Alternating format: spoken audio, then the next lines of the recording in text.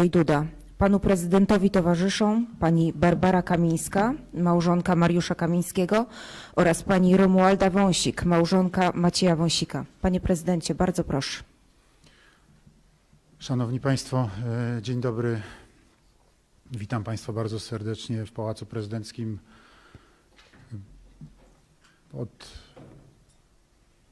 pewnego czasu całą opinię publiczną w Polsce elektryzuje, a dużą część opinii w Polsce publicznej bulwersuje sprawa panów posłów Mariusza Kamińskiego i, i Macieja Wąsika oraz ich kolegów, funkcjonariuszy Biura Centralnego Biura Antykorupcyjnego, y, którzy y, zostali skazani za swoje działania w ramach tego biura, czyli za swoją służbę dla polskiego państwa, za ściganie korupcji. Jak wiemy, panowie posłowie, pan minister Mariusz Kamiński i pan minister Mariusz Wąsik zostali w ostatnich dniach osadzeni w więzieniu.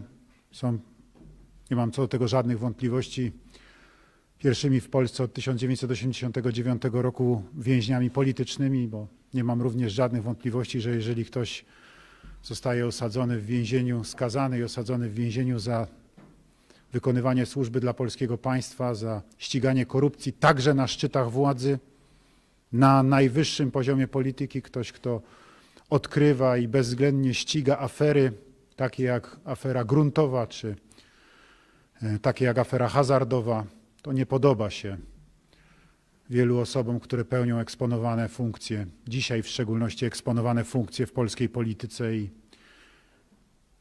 i to, co obserwujemy w ostatnich dniach, jest tego wymownym świadectwem. Ta niezwykła jak na polskie standardy, oszałamiająca prędkość działania sądów, oszałamiająca prędkość i brutalność w działaniach organów.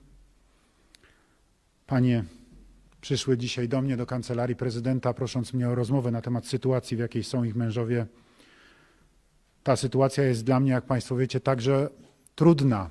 Trudna od strony prawnej, ale trudna też od strony osobistej, bo obaj panowie, a w szczególności pan poseł, minister Mariusz Kamiński, którego znam od 18 lat i z którym niejednokrotnie miałem zaszczyt i przyjemność współpracować jako prawnik, także kiedy byłem w Ministerstwie Sprawiedliwości i potem tutaj w kancelarii prezydenta Lecha Kaczyńskiego jako minister prezydencki. Śmiało mogę powiedzieć, że jest moim przyjacielem, znam go, Wiem na 100%, że jest to człowiek absolutnie krystalicznie uczciwy i godzien absolutnego zaufania. Dzisiaj obaj znajdują się w dramatycznie trudnej sytuacji, są w więzieniu. Dzisiaj rano rozdzielono ich, zabrano ich w różnych kierunkach. Każdy w tej chwili znajduje się w innym zakładzie karnym. Nie muszę nikomu wyjaśniać, jakie to budzi odczucia. Panie przyszły prosić mnie o to, abym doprowadził do uwolnienia panów posłów w miarę możliwości jak najszybciej, także z uwagi na to, że obydwaj zdecydowali, że odmawiają przyjmowania posiłków. To znaczy obaj zdecydowali o tym, że podejmują, krótko mówiąc, strajk głodowy, jak to się popularnie nazywa. W istocie jest tak, że nie przyjmują posiłków w tej chwili. Nie trzeba też nikomu tłumaczyć, co to oznacza jak długo człowiek jest w stanie tak funkcjonować, kiedy nie je. Jeszcze w warunkach osadzenia w zakładzie karnym w związku z powyższym to jest rzeczywiście bardzo poważna sytuacja. Proszę Państwa, ja będąc przeświadczonym o uczciwości, rzetelności działania panów posłów jako ministrów, jako też ich funkcjonariuszy Centralnego Biura Antykorupcyjnego w 2015 roku ułaskawiłem ich stosując przepisy konstytucji dotyczące prerogatyw prezydenckich, także ułaskawienia.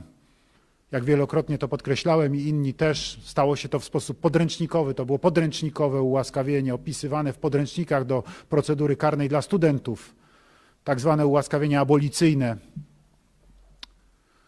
No cóż, niestety, mimo że sąd okręgowy, który tej sprawie podejmował pierwszą decyzję, całkowicie uznał tą prerogatywę prezydencką, co było dla nas oczywiste, bo zawsze tak było, to okazało się, że w Sądzie Najwyższym grupa zaangażowanych politycznie i politycznie zacietrzewionych sędziów w Izbie Karnej zaczęła podważać kompetencje prezydenckie. Oczywiście skutki tego były jasne i wszystkim są znane. Trzy kolejne orzeczenia Trybunału Konstytucyjnego stwierdzające zgodność prezydenta, działań prezydenta z konstytucją. Państwo w Sądzie Najwyższym i w wymiarze sprawiedliwości zlekceważyli w efekcie ich działań i działań obecnego rządu. Panowie ministrowie są w więzieniu.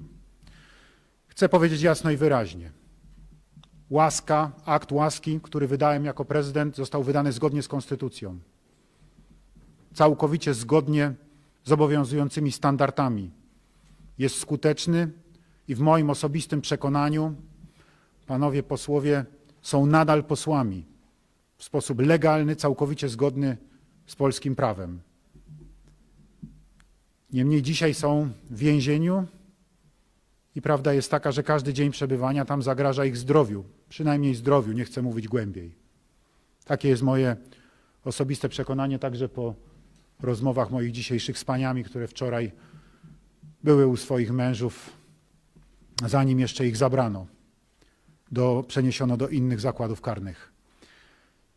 Panie zwróciły się do mnie o uwolnienie. Ja wczoraj na swojej konferencji prasowej, jeszcze zanim otrzymałem informację, że także pan poseł, minister Maciej Wąsik podjął strajk głodowy, mówiłem, że uczynię wszystko, co z mojej strony, że podejmę wszelkie starania, żeby, żeby zwrócić wolność panom jak najszybciej, żeby byli wolnymi ludźmi, a nie więźniami politycznymi w wolnej Rzeczypospolitej, bo to urąga jej godności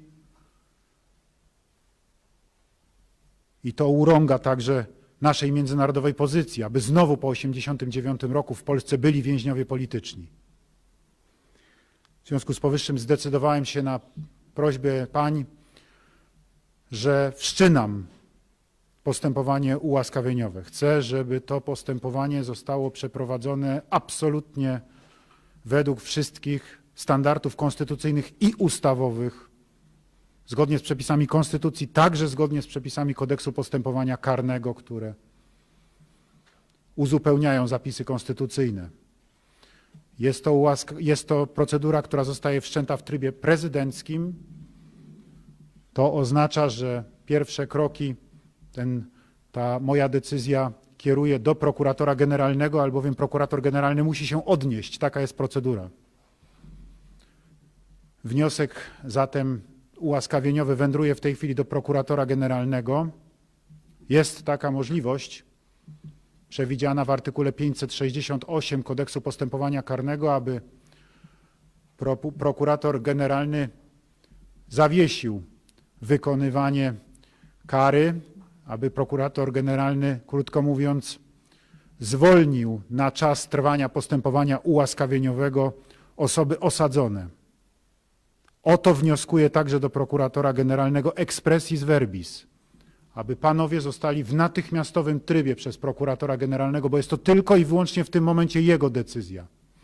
Ma pełne pole ku takiej decyzji, aby zostali przez, natychmiast przez niego zwolnieni, co wierzę w to głęboko, oczywiście zakończy problem ich po z jednej strony osadzenia w więzieniu w tej chwili, a z drugiej strony ich strajku głodowego.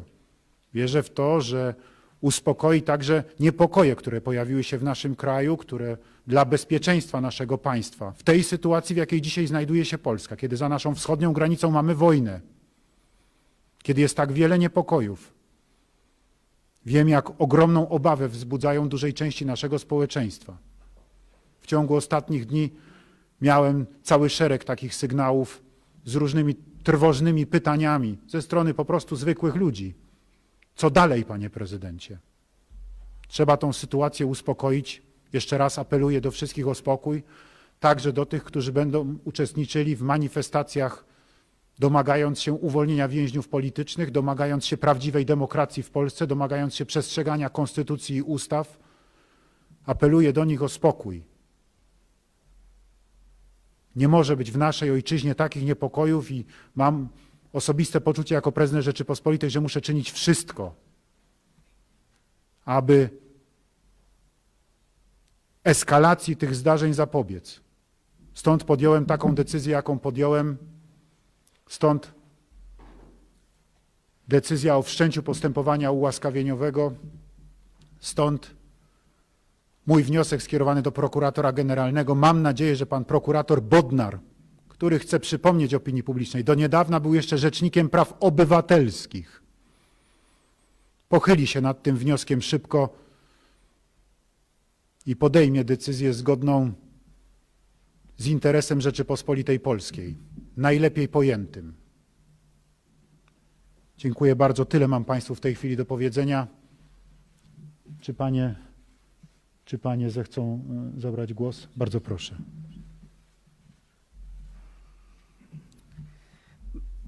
Chciałyśmy przede wszystkim podziękować Panie Prezydencie za to, że odpowiedział Pan Prezydent, y, że zgodził się Pan Prezydent na spotkanie z nami, bo, poprosi, bo prosiłyśmy razem z Basią mm, o spotkanie z Panem Prezydentem w celu pomocy w uwolnieniu naszych mężów.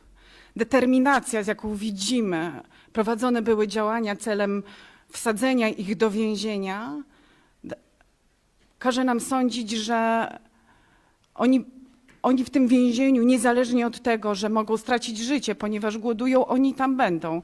I tak naprawdę ich los i ich sytuacja jest przesądzona. Nie możemy się godzić na to. I tak naprawdę ostatnią deską ratunku, jaką widziałyśmy, jest właśnie pan prezydent, za co bardzo dziękujemy.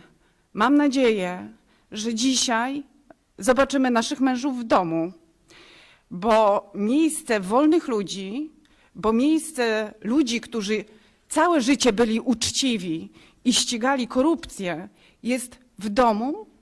Miejsce tych ludzi jest przy swoich obowiązkach.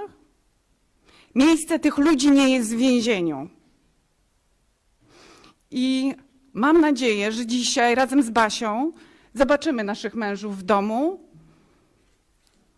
i tak naprawdę no, wyrażamy, chciałybyśmy wyrazić naszą wielką wdzięczność, Panie Prezydencie, bo to dzięki Panu czujemy, że, że nasi mężowie będą przy nas i bardzo chciałybyśmy z tego, z tego miejsca panu, panu Prezydentowi podziękować. Bardzo dziękuję.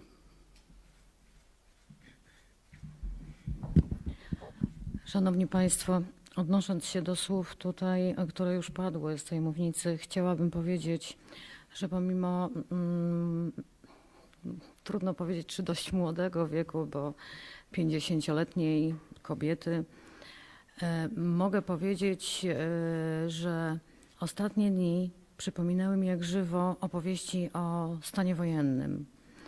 E, bardzo e, mogli Państwo wszyscy śledzić na bieżąco, jakie działania zostały podejmowane wobec mojego męża, e, posła na Sejm Rzeczypospolitej Mariusza Kamińskiego.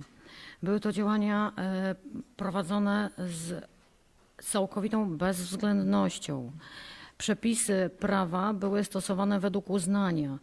Ktoś powiedział e, z obecnie rządzących, że przepisy będziemy stosowali tak, jak my je rozumiemy. Proszę Państwa, nie może dojść do takiej sytuacji, że będzie ktoś stosował tak, jak on to rozumie. Jednolitość w zakresie wymiaru sprawiedliwości jest wręcz konieczna, bo każdy inny, każdy z nas, każdy człowiek może zacząć się obawiać, że tak naprawdę nie znajdzie w sądzie sprawiedliwości. W związku z tym, że wobec mojego męża wszelkie interpretacje, które, mm, e, interpretacje wyroków czy orzeczeń, które były na korzyść, były interpretowane na niekorzyść i odwrotnie, jedynym e, wytłumaczeniem e, racjonalnym jest to, że sprawa niewątpliwie miała charakter polityczny. Mój mąż to człowiek uczciwy, dla którego najważniejszym dobrem i wartością jest dobro państwa, uczciwość, prawość i prawda. I nigdy nie zszedł z tej drogi. E, ja jako żona o tym wiem. i każdego dnia mogłam się o tym przekonać. Natomiast to, z jaką bezwzględnością mojego męża e, wsadzono do więzienia, z jaką nadgorliwością, jest dla mnie wręcz szokujące i nie potrafię sobie tego w ogóle poukładać w głowie. Z, w pewnym momencie zobaczyłam, nawiązując do e, mojej wypowiedzi na samym wstępie, że tak naprawdę organy państwa, które powinny stać na straży praworządności czy sprawiedliwości i inni ludzie, którzy decydują i rządzą teraz w naszym kraju, podejmują decyzje całkowicie sprzeczne z prawem, niekorzystne i e, dla mojego męża krzywdzące. Dlatego uznałyśmy dzisiaj e, tutaj obecną żoną Macieja Wąsika, że tak naprawdę w chwili obecnej został nam ostatni bastion. Tylko prezydent Rzeczypospolitej może pomóc nam w uwolnieniu naszych uczciwych mężów, którzy tak powinni być w domu, a nie w więzieniu. Wczoraj wpuszczono nas do zakładu karnego, dokładnie aresztu śledczego Grochów. Państwo obserwowali, jak bardzo chętnie i szybko męża wywieziono najpierw na ulicę Grenadierów, a później, kiedy przyszli tam ludzie i kiedy zaczęli protestować, kiedy przyszli posłowie Rzeczypospolitej i chcieli wejść z interwencją, niezwłocznie został wywieziony do aresztu śledczego Grochów. A teraz, kiedy my wczoraj, będąc, y, y, korzystając z faktu, że mówimy do ludzi poprzez kamery, że mamy większy zasięg y, i, i może trafimy do ludzi dobrej woli, poprosiłyśmy, aby później po marszu, który się odbędzie dzisiaj o godzinie 16, ludzie, którzy mogą, podjechali pod areszt śledczy Grochów, żeby wesprzeć naszych mężów, żeby ich krzyk usłyszeli oni, oni i inni Polacy, którzy chcą tego, żeby nasz kraj był naprawdę krajem demokratycznym. Bardzo dziękujemy panu prezydentowi, że chciał się z nami spotkać, wysłuchać e, naszej sytuacji, w jakiej się znalazłyśmy. Jest to sy- sytuacja bolesna i krzywdząca również dla nas. I wierzymy w to, wiemy, że mamy w panu prezydencie tak naprawdę ostoję i szansę na to, żeby nasz kraj stał się na powrót demokratyczny, a ludzie niewinni nie siedzieli w więzieniu. Ludzie, którzy na to nigdy nie zasłużyli. Bardzo Państwu dziękuję. Dziękuję Panie Prezydencie. Dziękujemy bardzo. Dziękuję Panie Prezydencie. Pięknie Paniom dziękujemy. Dziękuję serdecznie.